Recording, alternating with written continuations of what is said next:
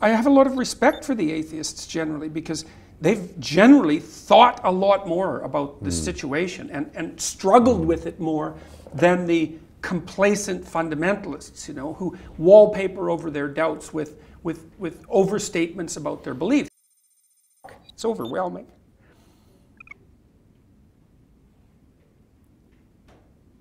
I don't usually think about these things, but I was, I was after my talk last night, and so all these people line up, and you know, they have their 15, 15 seconds with me, and they're kind of tentative. They're excited and attentive when they come up to talk to me, and then they have, you know, 15 seconds of time to tell me something. I'm really listening to them, and they're hesitant about whether or not to share the good news about their life, you know, and I think it's often because when people share good news about their life, people don't necessarily respond positively. You know, they don't get encouragement. And people need so little encouragement. Yeah. It's just unbelievable.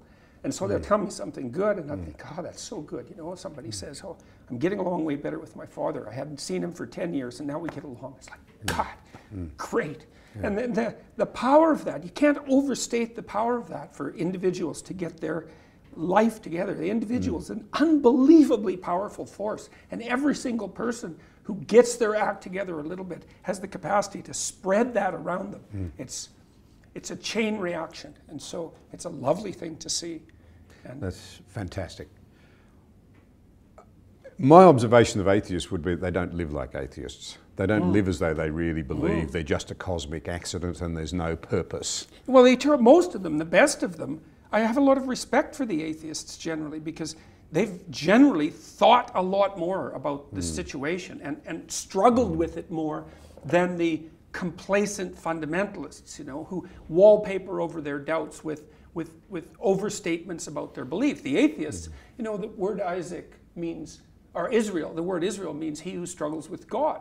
It's like, well, it's not obvious that it's not the atheists, you know, they're struggling away. It's like they're obsessed with it even. And so they have God more on their mind than the typical person who's a believer.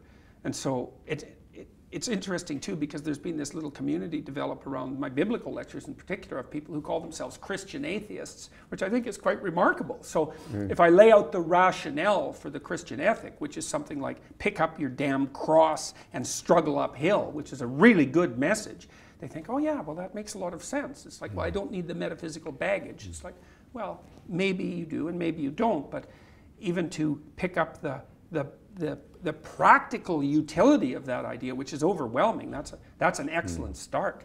So, and I was going to follow on that and say it strikes me with a lot of young people, and I think this is enormously to their credit and goes to the heart, I think, of what you're saying. They're told that all morality is relative. They don't live that way. Hmm. They're actually no. looking for truth, aren't they? Well, if you live that way, everyone hates you.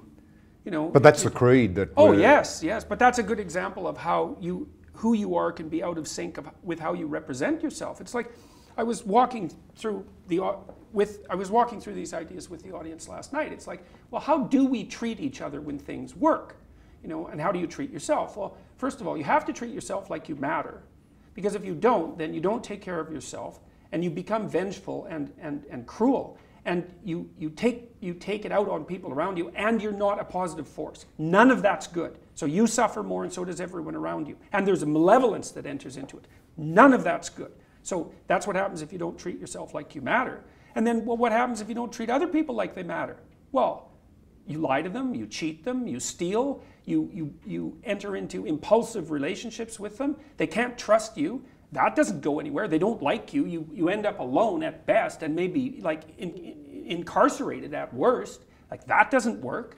And so you watch the people around you who thrive, regardless of what they say, they act out the proposition that everyone matters. And then you have a functional society. And I think, okay, well, if, if, if when you act out the proposition that everyone matters, you have a functional society, maybe that's evidence that that proposition is true. It's like, I think it's, I think it's true. I think the idea that the individual has a spark of divinity within him or her, I think there isn't a more true way of saying that. And if you act that out, well, this is, goes back to the idea that you brought up about potential, which is also something I've discussed with my audiences a lot. It's like, we don't act like we live in a material reality. We act like we face a landscape of potential an external landscape of potential with an internal reservoir of potential. That's how we act. And then we call each other out on it. We say things like, well, you're not living up to your potential. And persons go, so yeah, well, I know. It's like, well, what do you mean by that? What do you mean by that? Well, you mean there's more to you than meets the eye. Even though it's not measurable, right? It's not tangible. It's just possibility. But everyone acts as that as though that's a reality. Hmm. And we all act as if we all act as if we make choices about what reality to bring into being. We, we, we, we punish ourselves for our moral errors and, and other people as well. We act out this, this ethic that puts us each at the center of being as active participants in the world that we want to bring forward. Everyone acts that way. And if we don't, then things go to hell instantly. So it's like, well, what do we believe? This is the argument I've had with people like Sam Harris, the atheist types. It's like, yeah, you think you're atheist, man. It's like you're Christian, Judeo Christian, let's say, to the core. You just don't understand it. You just don't realize it. And it's understandable, but it's not helpful.